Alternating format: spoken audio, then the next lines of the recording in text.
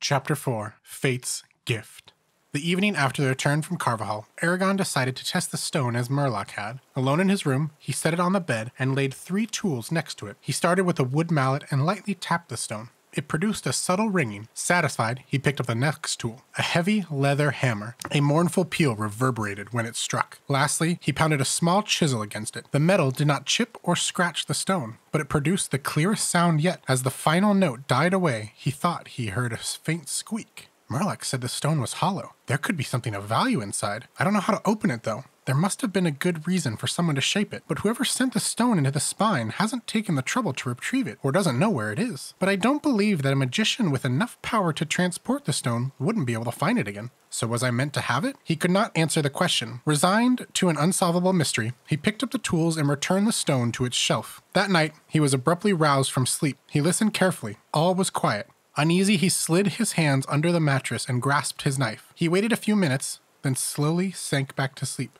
A squeak pierced the silence, tearing him back to wakefulness. He rolled out of his bed and yanked the knife from its sheath. Fumbling in the tinderbox, he lit a candle. The door to his room was closed. Though the squeak was too loud for a mouse or rat, he still checked under the bed. Nothing. He sat on the edge of the mattress and rubbed the sleep from his eyes. Another squeak filled the air and he started violently. Where was this noise coming from? Nothing could be in the floor or walls. They were solid wood. The same went for his bed, and he would have noticed if anything had crawled into his straw mattress during the night. His eyes settled on the stone. He took it off the shelf and absently cradled it as he studied the room. A squeak rang in his ears and reverberated through his fingers. It came from the stone. The stone had given him nothing but frustration and anger, and now it wouldn't even let him sleep. It ignored his furious glare and sat solidly occasionally peeping. Then it gave one very loud squeak and it fell silent. Eragon warily put it away and got back under the sheets. Whatever secrets the stone held, it would have to wait until morning. The moon was shining through his window when he woke again. The stone was rocking rapidly on the shelf, knocking against the wall. It was bathed in a cool moonlight that bleached its surface. Eragon jumped out of bed, knife in hand. The motion stopped, but he remained tense. Then the stone started squeaking and rocking faster than ever. With an oath, he began dressing. He did not care how valuable the stone might be. He was going to take it far away and bury it. The rocking stopped. The stone became quiet. It quivered. Then he rolled forward and dropped onto the floor with a loud thump. He inched towards the door in alarm,